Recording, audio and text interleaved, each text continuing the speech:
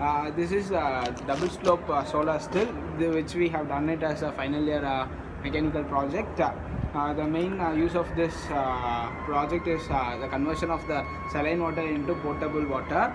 Uh, we have the, we have used uh, three different materials like uh, wood, uh, plywood, uh, an aluminium base, uh, and uh, glass. We have used the wood because it acts as an insulating material and the thermal conductivity is very much uh, less when compared to other materials. Uh, we, uh, the aluminum has a high thermal conductivity. We have colored uh, the aluminum basin with uh, black color because the uh, black color absorbs more radiation when compared to other color. We have covered it with glass, a plain glass.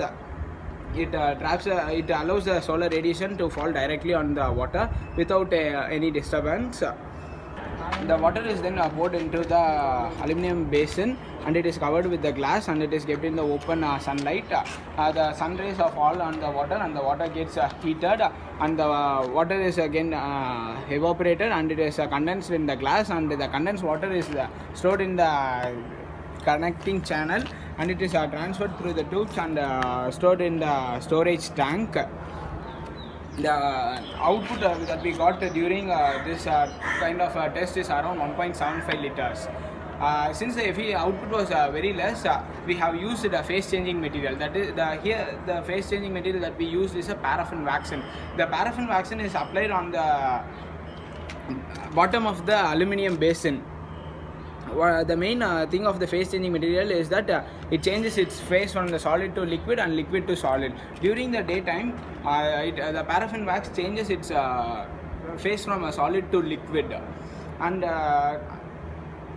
the same process takes place during the daytime and uh, during the night time what the thing happens uh, with the paraffin wax is that it changes its uh, phase from the liquid phase to the solid phase. During the change of phase from the liquid to solid uh, heat is uh, liberated. The, the liberated heat is used to heat the water which is inside the aluminum basin and it is then collected in the and the water gets evaporated and it is uh, collected uh, in the glass. And again uh, it is uh, taken through the uh, collecting channel and it is uh, stored in the storage tank.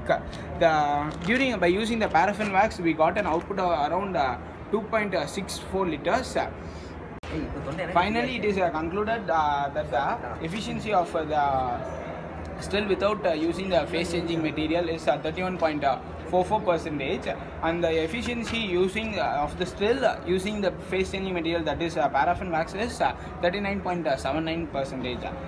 Finally we have increased the output by using the phase changing material that is paraffin waxen